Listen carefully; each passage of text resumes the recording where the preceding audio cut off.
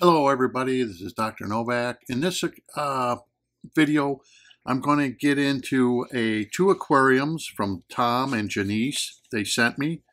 And I'm also going to get into some questions that were asked to me that I think would be important that we all hear the answers to. And that's all coming up next in this video.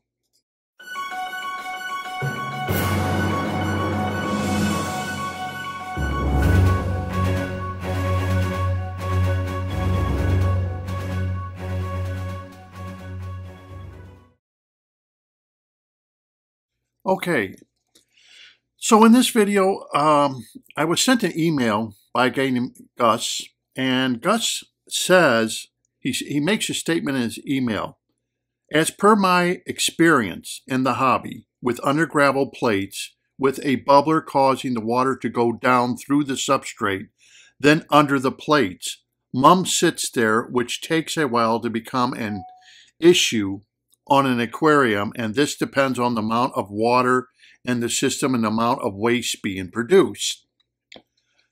This, this, uh, what he says here, Gus, as he tells me this,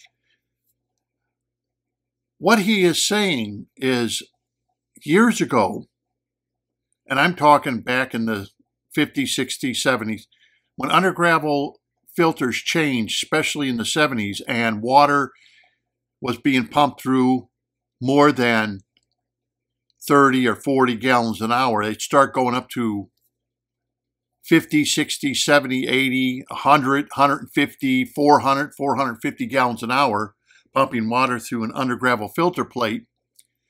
They became not only biological filters, but they became mechanical filters. And when they became mechanical filters, it was pulling the dirt in through the plates because of how fast the water was flowing through the plates. This became a problem which a lot of hobbyists realized, and instead of fixing the problem, they just went ahead and, and solved the problem by saying no more under gravel plates we know different now that you do not need to run an your under gravel filter or a plenum, which basically an under gravel filter creates a plenum, the void underneath the plates, that fast. It never had to be that fast. Uh, this was something that was added by manufacturers to sell a different product or more products. So as I wrote Gus, I said, do an experiment. You can take two tanks, let's say five gallon, 10 gallon, whatever, with glass bottoms. And I said, run a slow moving plenum in one. And in the other one, just put the substrate at the bottom of the aquarium. Okay? Slow moving plenum. Make sure the depth is the same. So if you have a substrate and it's at least three inches, make sure both aquariums have three inches. Three inches over the plenum, three inches that you just pour your substrate on the bottom of the aquarium. Then you get yourself, let's say, uh, this is just an example. Let's say you get uh, 10 tiger barbs for each tank and you put them in. You measure out your food for each tank and you feed each tank. If a tiger barb would die, you get a replacement. You always keep it at the same amount of fish. Easy experiment. Then after a year, take a look at the tanks. See if the tank with the slow moving plenum has all kinds of dirt at the bottom of the plenum. Then look at the tank with the substrate. See if there's dirt at the bottom of the substrate if it has migrated through the substrate. Now, you can use a aquarium vac to vac out both aquariums. You're going to find out that the tank with the plenum is no dirtier than the tank that didn't use the one.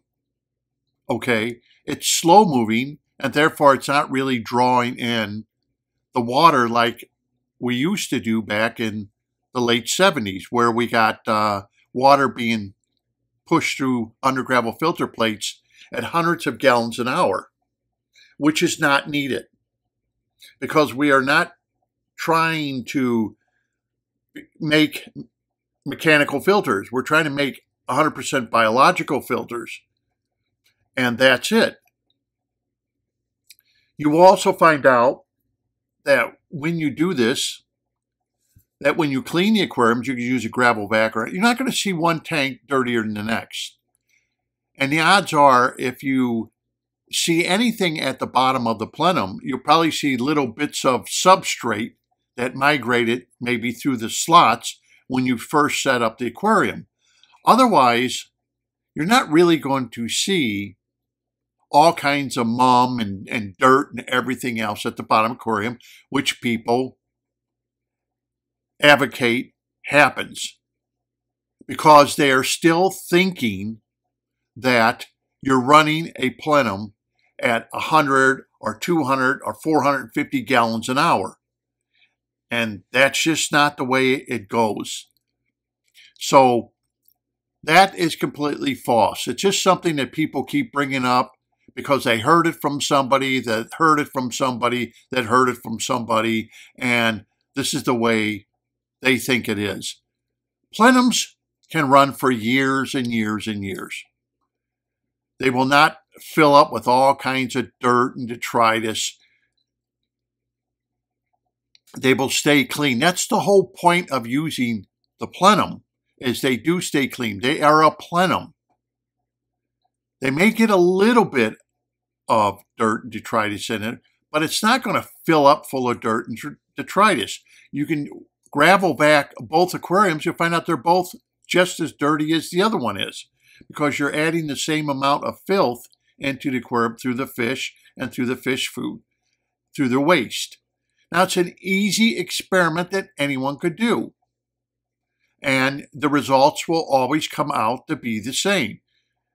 So, when people think that, oh, the underneath the plates, it's going to get all dirty and everything else, anything that's coming through that filter plate, if it's turned into mulm, it's it's inert. Mulm is inert. It's it's no different than if you put gravel in your aquarium. Gravel is inert. It's not going to do anything except allow bacteria to grow on it. That's it. It's inert. It's not going to take away. It's not going to add. If it's normal gravel, uh, it's not going to add or take away anything to your pH. It's not going to do anything to make your tank softer or harder. It's inert. It, it, it doesn't mean that. And test it out for yourself. Do it for a year and find out if look at the bottom. See if you can't see the bottom of the glass and you can actually visually look. Is one getting dirtier than the other? One thing that I noticed when I had substrate at the very bottom of aquariums uh, for example, like when I used heating cables and the heating cables failed, uh, my substrate at the bottom of the aquarium turned black because I could see right through the glass. Now, see, nobody talks about that. Why don't they show their aquariums with their substrate after about a year or something? Take pictures of the very bottom of their glass and through the substrate. And let's see what the substrate looks like because every aquarium I set up with the substrate at the bottom of the aquarium, within a year, that substrate was turning black because of lack of oxygen. But as you notice, nobody shows pictures of the bottom of their aquariums so you can see through the glass what it looks like that, like if you're using sand or anything else. The only way they can avoid that, and the only way anyone can avoid that, is if you stir it up. That's here in Florida, the public aquarium here in Florida, where they stir the substrate up three, four times a week. That's how you will avoid the blackening of your substrate. But if you leave your substrate alone, like you would a plenum, then see how black it is. You notice nobody shows you. They just keep talking and talking, but they never take pictures of their aquarium that they haven't disturbed the substrate on constantly to show you, even with plants, even with plant roots, you are going to see it turn black. It's always happened to me. Okay? So let's get into this. Let's get into these aquariums and I'll show you exactly what they did and read exactly how they set up their aquariums. Okay, this is a little 10 gallon aquarium of Tom's. And I'll read you what he wrote me in his email, which relates to what I just got finished talking about. Okay. It says, Hello, Kevin. I set up a tank with a undergravel filter after taking down a dirted experiment gone bad. I pulled up some sad looking plants and decided the odor was enough for me. I now have a slow moving undergravel filter, plenum, which brings me to a question. I want to leave the tube up to the surface for agitating any problems with that. Uh, substrate is Safe-T-Sorb. Okay. If you decide, like he is, that you want the tube to go to the surface, the thing you have to watch out for is your amount of flow you have through it. You want it to be very slow. You don't want to get caught up into the 1970s and 80s where water was moving too fast. Remember, water doesn't need to move as fast as you think through the plenum. It could be very slow. It could be 10 gallons an hour. It could be 30 gallons an hour.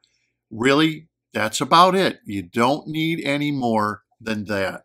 So if you want to bring the tube up to the surface, that's fine. But make sure it's running slow enough that it is not turning your plenum into a mechanical filter. That's all. And you should come up with excellent results, even if the tube is longer and if that's what you want. Just make sure it is running slow enough. That's all. You only want to aid in the exchange of water. You don't really want to move water at any fast rate of speed. You just want to aid in the exchange of water to make sure water is being exchanged through the substrate to create anoxic conditions. Okay, so this is Tom's small little 10 gallon tank. Looks very nice. And we'll go on to the other tank, but I thought I would answer that question. And as you notice, he does mention that uh, he had a dirted tank and it went bad and it smelled terrible. Okay? Why do you think it smelled ter terrible? Okay, this is a substrate and everything. Everything's here. Axolotl. This is for an axolotl tank. And um, gosh, I haven't seen an axolotl in years. I'm being honest with you. I just don't see pet stores selling them anymore. Uh, one reason is they sold them a long time ago, and they were they have a requirement of food, aquarium needs, um, plus their gills can get damaged because they're exposed. So she has a challenge of trying to keep these salamanders in her aquarium.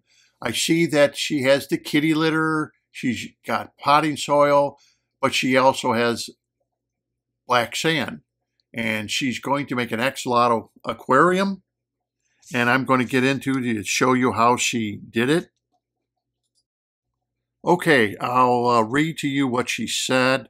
Uh, all right, so I have an axolotl and uh, they have unique water parameters and the substrate needs. First, I refinished the tank stand, which made me too eager to wait for the best solution. So she she took this, uh, it looks like oak, and she painted it over, you know, to her taste, which is fine. Make it the way you want.